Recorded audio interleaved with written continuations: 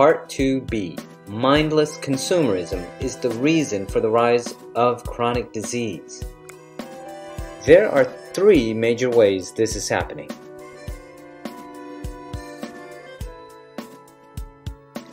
First, modern day employment is a health hazard.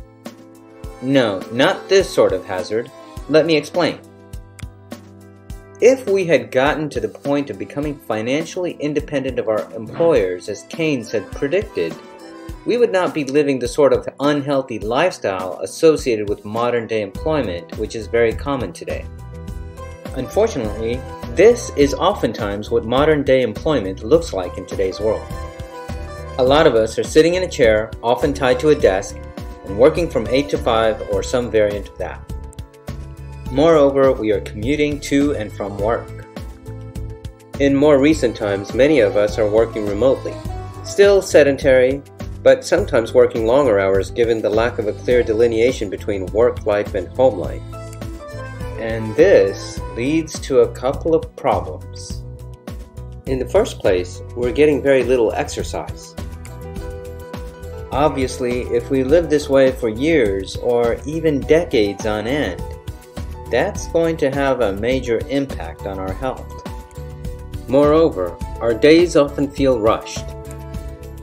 That means for breakfast, we're often getting just a coffee or sometimes a breakfast on the go. Lunch is either eaten outside or sometimes sitting at our desks. And then many of us come home and understandably are tired after a long day's work. And the last thing we want to do is start making a healthy, nourishing meal. We really just want a little bit of time for ourselves. Finally, thanks to our modern way of living, we carry a lot of stress that impacts our sleep as well. Obviously, a healthy diet, exercise, and sleep are all fundamental pillars of healthy living.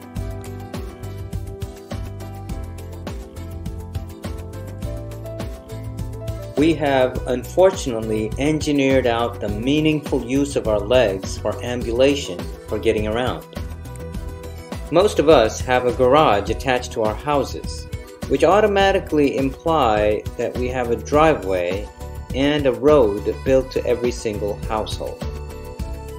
Now, if you go to the places around the world where people live the longest, with the lowest rates of disease, and if you ask them their secret to healthy living, a lot of them don't seem to know. And the reason they don't seem to know is that healthy living is actually already a part of their daily lives. Given the lack of paved roads, they either have to use their legs to walk or they cycle to get around. In other words, one of the things we consume mindlessly is convenience.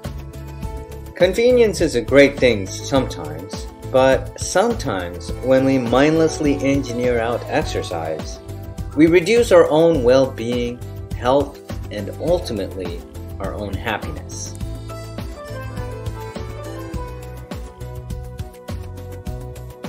Also, we're changing our environment from one that is natural to an increasingly artificial environment, and that has big consequences for our health. For nearly 97% of our time as a species, we lived as hunter gatherers. As you can see, they spend all of their time outdoors and thereby get plenty of exercise and sunlight. In contrast, our environments are increasingly artificial. And since we evolved in and our bodies are best suited to living in natural environments, this has a number of profound health consequences. In fact, it is even worse than it appears because, in addition to the fact that our environments are increasingly artificial, most of us spend 90% or more of our time indoors. Once again, in contrast, our ancestors spent 100% of their time outdoors. As you might imagine, spending 90% of our time indoors does wonders to our physical and mental health, and not in a good way. So now you can understand how these environmental changes, as a result of mindless consumerism, lead not only to the rise of chronic physical diseases like diabetes and obesity, but also mental health disorders.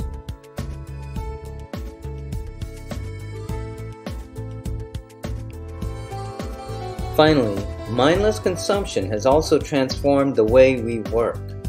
Of course, consumers are also workers, and because of our overconsumption, we work in a way that is different from a person who is financially independent works. Most of us have to work because we need to get food on the table for ourselves and our families. And we need to be able to meet our monthly payments. So most of us work, in other words, for money.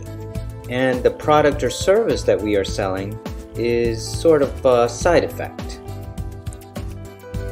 In contrast, those very few individuals in today's world who are financially independent of their employers, those individuals work because they're passionate about the product or service that they're selling, and money is instead the side effect. And this has profound implications for how we work and how we live. A person who works for money has very little peripheral vision and is focused almost exclusively on being able to make ends meet, to get the money they need to put food on the table for themselves and for their families. But this has a shortcoming, which is that we tend to focus on making money even if the product or service we are selling is not good for those around us. This brings to mind a quote from Upton Sinclair, who was a journalist and an activist in the early 1900s. And what he said is that it's difficult to get a man to understand something if his salary depends on him not understanding it. So, in other words, understandably, we readily compromise our integrity when we have to in order to get the income we need to meet our daily needs. But suppose hypothetically that a significant percentage of people become suddenly financially independent of their employers. Then a profound change would take place. And this is true across many different industries, but let's just take the fast food industry as an example. Let's suppose that the typical fast food worker is suddenly financially independent of their employer. What do you think might happen? Well, as you might imagine, many of them would just quit their jobs. First of all, it's kind of a monotonous job. Just flipping burgers or doing things repetitively is not the way most of us want to spend our time. But second, a lot of these employees would find that their work is meaningless. And in fact, for many, it's even worse than meaningless, in that the work they do is actively causing harm to the public. And so suddenly, many people, knowing they do not need to do this work to make ends meet, feel a sense of liberation. Suddenly, life gets so much more interesting, and they move on to doing something more meaningful for themselves. Of course, the owners of some of these fast food businesses, many of whom are financially independent, but are still kind of greedy and want more and more for themselves, would still want to sell all these processed foods that are highly addictive and tasty and highly pleasurable. But the problem for them is that they just won't have many workers available to them. And the end result is that the supply of fast food suddenly decreases significantly. Moreover, since people are financially independent of their employer in this scenario, a lot of people actually have the time to prepare a nourishing meal for themselves and their families. And so as a result, suddenly demand for fast food also decreases.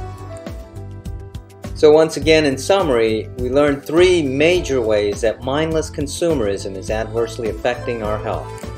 In part 3, we'll discuss the solution for this. One so simple and yet so compelling.